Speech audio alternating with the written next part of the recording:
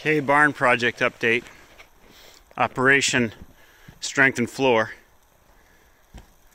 First thing we did was pop these boards. We found these 24 foot long old pine beams or joists, round on the bottom. This is right where the tires sit on the tractor, one there, one there, six feet apart.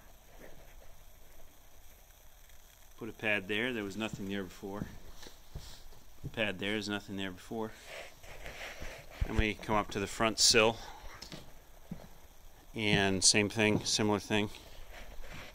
The front end is so rotten, you can see that one's been sistered out 10 or 20 years ago. Just about to jack that in there. We, the jack malfunctioned, so we have to go get another jack. That's going to be pill pad number three.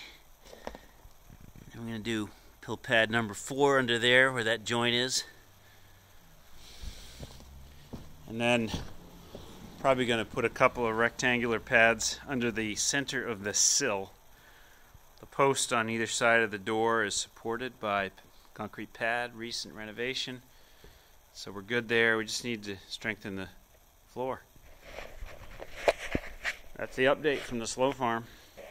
Hope everybody's having a good Friday.